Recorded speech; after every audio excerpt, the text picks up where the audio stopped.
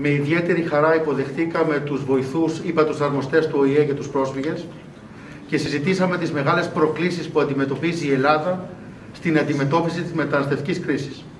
Ειδικά στην εποχή της πανδημίας, όπου προσπαθούμε και μέχρι στιγμής έχουμε καταφέρει να προστατεύσουμε τις δομές φιλοξενίας χωρίς να υπάρχει κάποια απώλεια ανθρώπινης ζωής. Συζητήσαμε την ανάγκη διεθνοποίησης του προβλήματος της μεταναστευτικής κρίσης, την ανάγκη επίδειξης έμπρακτης αλληλεγγύης από τις χώρες μέλη της Ευρωπαϊκής Ένωσης καθώς και από τη διεθνή κοινότητα για το βάρος που σηκώνει η Ελλάδα και ειδικά τα πέντε νησιά του Αιγαίου. Σε αυτές τις προκλήσεις θα δουλέψουμε μαζί με την ύπατη αρμοστία του ΟΗΕ, όπως έχει κάνει η χώρα μας όλα τα προηγούμενα χρόνια. Είναι μια δύσκολη κρίση, η οποία αντιμετωπίζεται με συνεργασία και αλληλεγγύη.